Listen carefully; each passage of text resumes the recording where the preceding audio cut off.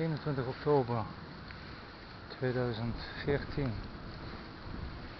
Het is Napoleonbaan in Geleen.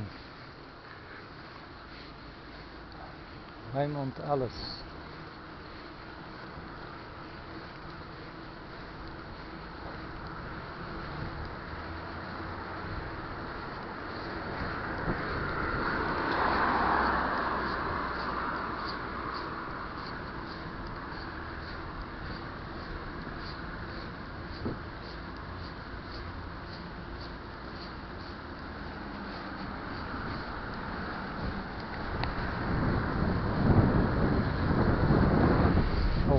Uit de jaren 80.